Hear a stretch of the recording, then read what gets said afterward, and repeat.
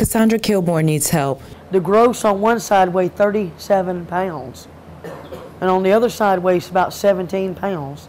That's about 57 pounds that's in between my legs.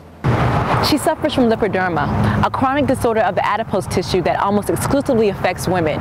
It's where fatty tissue accumulates on the legs and possibly the arms in unusual patterns and cannot be lost through diet or exercise.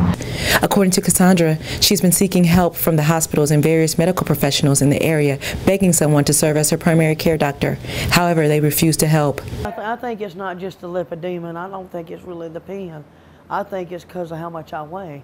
One doctor kept mentioning Weight I, how big I was and how fat I was, and wanted me to get me on diet pills, which most doctors say, don't recommend that because it's. Another obstacle standing in Miss Kilburn's way is her mounting medical problems. Got a bladder infection, a yeast infection, and four urinary tract infections. They don't even see me, ma'am. They won't even let me come in the door.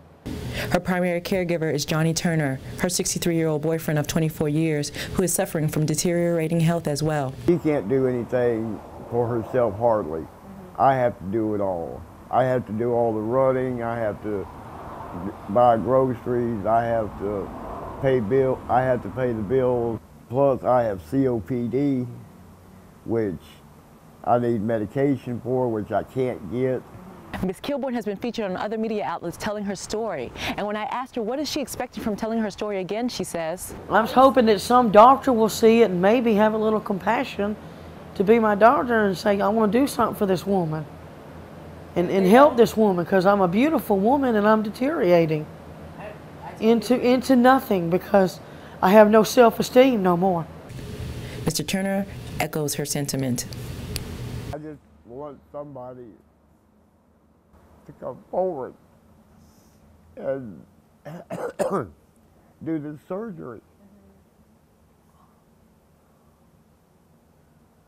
And to get her, to get her health back.